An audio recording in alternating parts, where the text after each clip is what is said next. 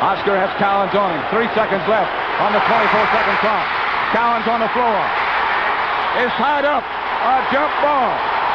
What a play by Dave Cowens. Pat, it's some, here's a Dave Fantastic. Cowens knocks the ball away as he jumps out in the screen. Watch him dive for the ball right here. Look at this hustle.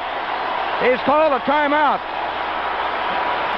There's a situation, Pat. He dove and got the ball, jump ball, but if he had not knocked the ball away and got the jump ball, the 24-second clock was about to expire, which would have given the ball to the Boston Celtics. As it is now, both teams have an equal chance of getting the ball back. And that's the contention at the table now by Thomas.